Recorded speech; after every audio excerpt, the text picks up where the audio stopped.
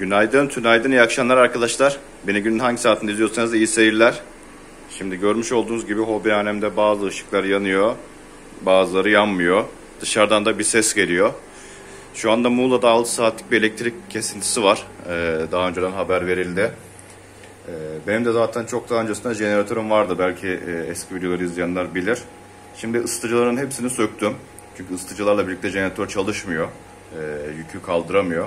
Ve böyle sadece biraz ortam aydınlatacak özellikle led olanların ışıklarını açtım. Floresanları açmadım. Gördüğünüz gibi ledler sadece yanıyor.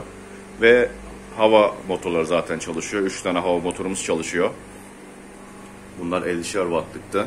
Ee, 150 wattta elektrik bunlar çekiyor. 3 tane var. Ve şu anda dışarıyı göstereceğim. Jeneratörle şu anda hobihaneme elektrik veriyoruz. Ee, buradaki sistemi yapmıştık zaten. Normal şebekeden gelen e, elektriği şu siyahlarla aktarıyoruz. Yani bu buna takılı olduğu zaman normal e, şehir şebekesini kullanıyorum. E, ama böyle bir durumda elektrik kesildiği zaman gördüğünüz gibi dışarıya bir kablo ayarlamıştık zaten böyle bir durum olursa diye. Bayağı da uzun yapmışız. Fazlalığı da var. Şu anda jeneratörden elektrik geliyor bize.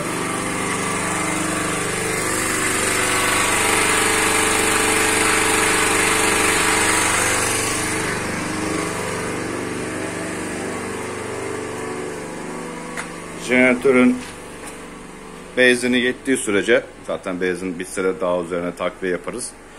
E, hobihanemiz hayatına kesintisiz bir şekilde devam edecek. Herhangi bir e, elektrik yani ışık çok önemli değil ama hava özellikle çok önemli. Hava e, vermemiz. O yüzden zaten en azından e, ışıklar yanak yanıkken bile bakın hava motorlarımız çalışıyor. E, 100 tane akvaryumumuza hava verebiliyoruz. İdare edecek kadar da ışıklarımı açtım. E, ortalığı görebilecek kadar. Her tarafı full aydınlatmama da gerek yok zaten.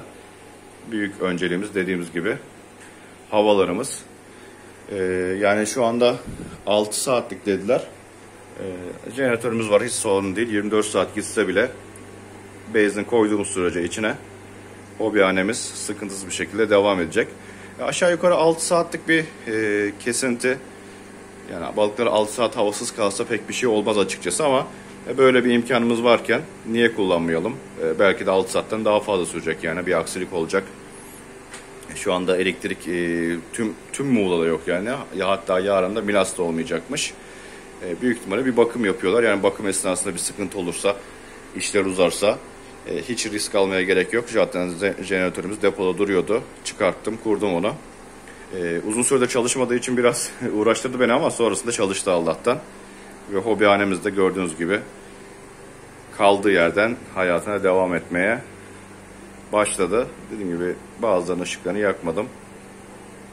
Ortalık loş olsa da yeter. Sadece şimdi bir yemleme yapacağım. Ee, ondan sonra zaten ışıkları da kapatıp çıkarım. Önemli olan sadece havalarımız e, aktif olarak akvaryumlara pompalansın. Hava motorlarımız susmasın. Zaten yaz ayında olduğumuz için de ısıtıcılar çok önemli değil. Ee, ama bir kere de kışın kısa sürede 3-4 saatlik kesilmişti. Ee, içerisinin ısısını zaten koruyabildiğim için yani şu anda yaz ayı olduğu için e, kapıyı açtım yani o önemli değil. Ortam sıcak zaten. Kışın da aynı şekilde kapıyı kapatıyorum.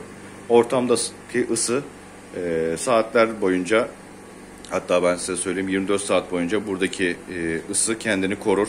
Çünkü bütün e, camlar e, birçok duvar stoforlu. E, yani öyle hemen 20 derecelerin altına düşüvermez ısımız. E, 26 derece zaten bütün ısıtıcıların ayarı. Ortamda 25 derece oluyor. Yani maksimum bir gün içinde burada elektrik olmasa yani ısıtıcılarım çalışmasa 22-23'lere anca düşer. O da balıklar için ciddi bir sıkıntı yaratmaz. O anlamda da e, derdimiz yok. Sadece dediğimiz gibi bizim işimizi görecek kadar ışık olsun ve en önemlisi tabii ki havalarımız pompalansın hobihanemizde.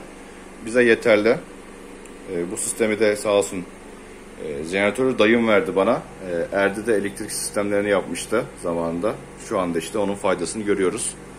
Kullanmaya devam ediyoruz. Gayet de güzel yani. Şu anda elektrik kesintisi beni hiç etkilemedi öyle söyleyeyim. Her zaman da bu şekilde etkilemeden devam edecek zaten. Jeneratörümüz sağlam çalıştığı zaman. Zaten jeneratör e, bayağı tadilattan geçti. Dayımın deposunda duruyormuş ama e, benzin deposu delikti. Onun da yıllar boyunca deposunda dura dura benzin eritmiş tabii ki e, deponun altına. Depoyu değiştirdik. Yeni depo aldık. Sonra bu elinizle çekerek çalıştırırsınız onu. O ipli bir sistem var. Onu da 5-10 kere çektikten sonra ipi koptu. Ee, onun da sıfırını aldık. Jeneratörü sıfır hale getirdik. Şu anda sorunsuz bir şekilde çalışıyor gördüğünüz gibi. Fokur fokur hobihanemize havalarımızı verebiliyoruz. Valla böyle tedbirleri almamız gerekiyor. 100 tane akvaryum var. Bilmiyorum ama ya binlerce diyeyim ben size kaç tane olduğunu bilmiyorum. Binlerce balığımız var. Böyle durumlarda elektrik kesintilerinde falan e, balıklarımızı riske atamayız. Bu önlemlerimizi almamız gerekiyor ve almıştık zaten bugünler için. E, o anlamda sıkıntımız yok. Bakalım ben işlerimi halledeyim. E, elektrik gelince artık dediğim gibi jeneratörü durduracağız. Buradaki sistemi de tekrar bu siyaha bağladığım takdirde dediğim gibi direkt ana şebekeden gelen elektrikle e, hobilerimize elektrik vermeye devam edeceğiz. O zaman ısıtıcılarımızı falan takarız zaten. Şimdilik benden bu kadar arkadaşlar. Dediğimiz gibi ekstra bir durum başımıza geldi. Çaresini bulduk. İyi de oldu. Sıkıntısız bir şekilde hayatımıza devam ediyoruz. Bugünkü videomuz bu şekilde oldu arkadaşlar. Zaman ayırıp beni izlediğiniz için teşekkür ederim. Sonraki videolarda görüşmek üzere. İyi hobiler.